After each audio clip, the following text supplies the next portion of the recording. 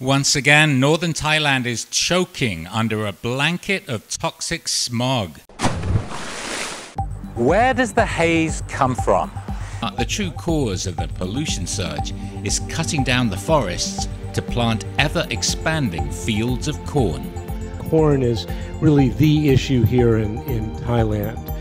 Animals eat corn. So, what do you do when you've got a cornfield full of waste? You burn it. And the burning of crop residues is the biggest culprit. One of the uh, surprising fact is uh, animal ag agriculture like uh, is the number one deforestation factor. Worldwide, 50% of the grain harvest is fed to animals.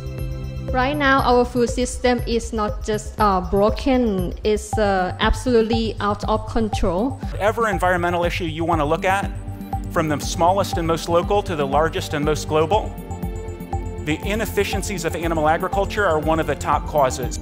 On average, it takes roughly 10 times more inputs to make calories and protein from animals than plants.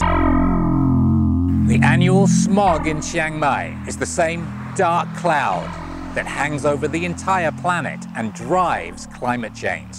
The deforestation and pollution caused by animal agriculture.